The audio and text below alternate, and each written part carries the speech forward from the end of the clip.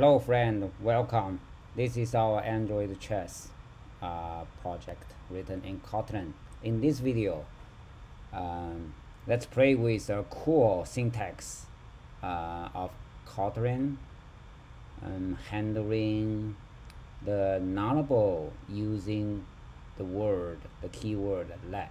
Okay, so let's make it bigger here and we can hide this one for now.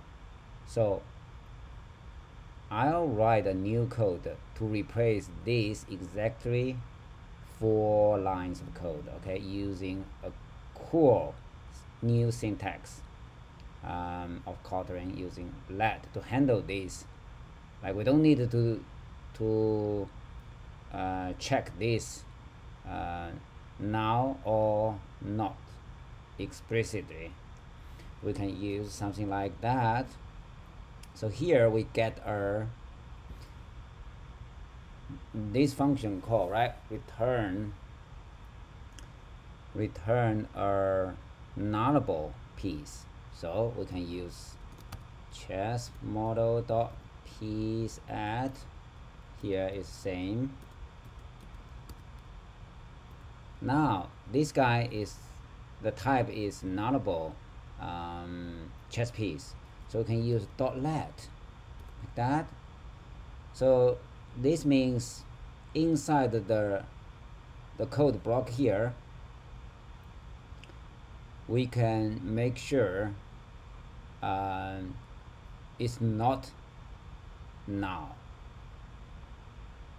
if it's not if it's null the return uh, value is null then it will skip mm, the code in this block okay? So now we can do draw piece at canvas same thing and uh, column and row.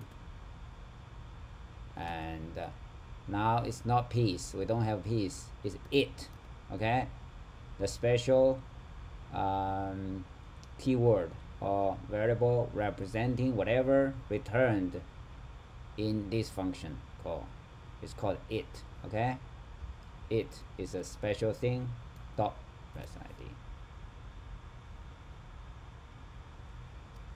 and here what I missed is a question mark. Yeah. Now this one is doing exactly same as this one okay? So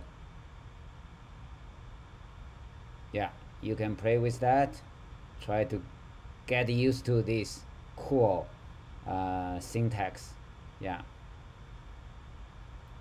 So we don't need to check whether it's null or not right? Explicitly is hidden here. So it means, means dot let it means let it. Let it uh, be the non-null actual value of that. And uh, it, if it's if it's null then everything is ignored right? This logic is exactly what we need okay? So now let's give it a try. Comment out that to see we still have the same thing out.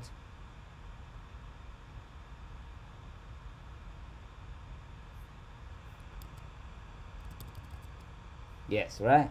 Okay now let's clean up this code. And uh, we can make a commit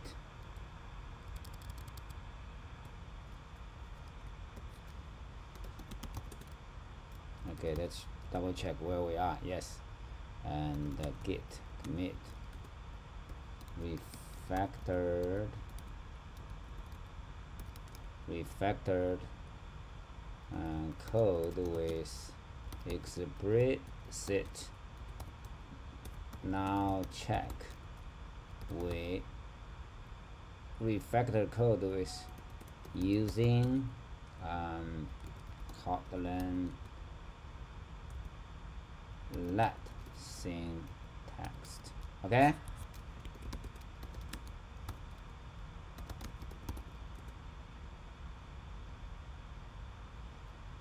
Yeah. And uh, another thing I always want to do is to make our code uh, more readable. Okay like this one. Drawing our chessboard right? So this part we can improve the, this part by abstracting a helper function to do draw for example draw square okay? Private func draw square at column and row and uh,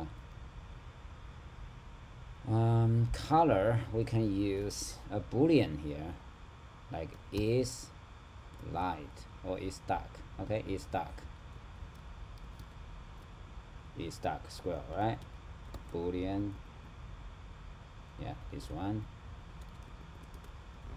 So we can simply um, copy those things and put it here of course we don't have i and j. And uh, so is stuck will be here right? If can we do that? If it's stuck no we have we need the we do need the parentheses. Okay oh canvas of course we need the canvas like that. Now here the i is our column.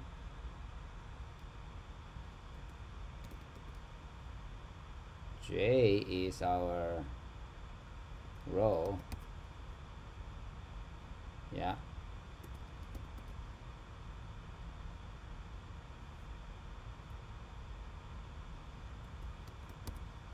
right?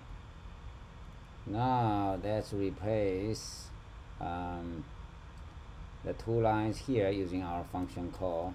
So draw square canvas of course column um, is column is I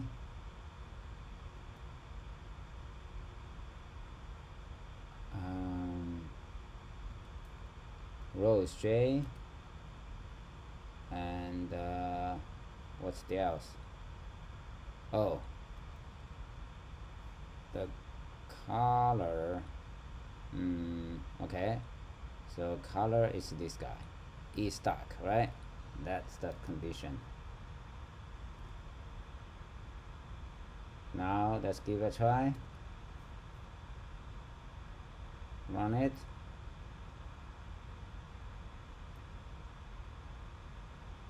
yeah. It works right? The the the top left. The top left corner is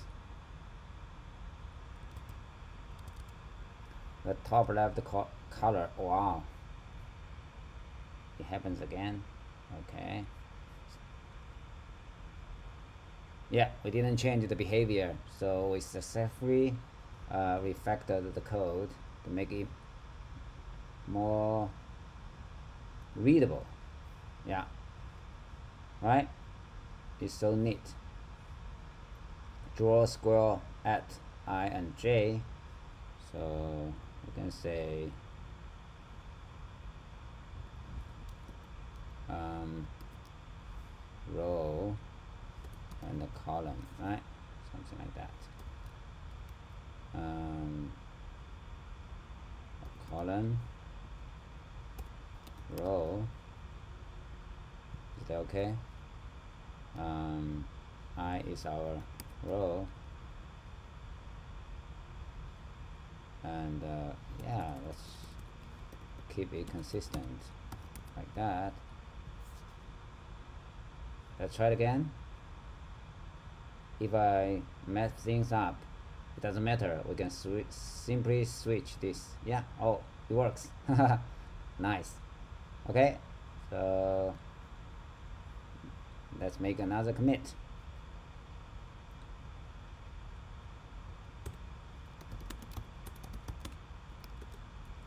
So um, we factored um, draw chessboard.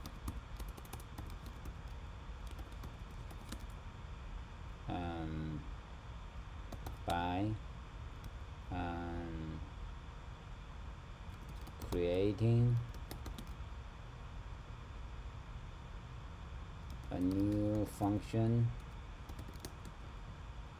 Draw square at, right? Like that.